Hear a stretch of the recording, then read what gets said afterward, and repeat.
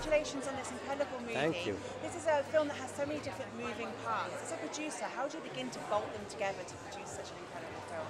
It was a real, real uh, adventure, I would say, and we tried to make it in the most consistent way of on how Sofia wanted to make it. And um, I think the challenge was to make it in the time that we had. It was a very short time, 30 days of shooting, uh, all reconstructed in Toronto. So, but still trying to give this uh, very unique and touching point of view on the, on Priscilla's life. Yeah. Amazing. And what was the most important factor for you to get right on this film? The emotion.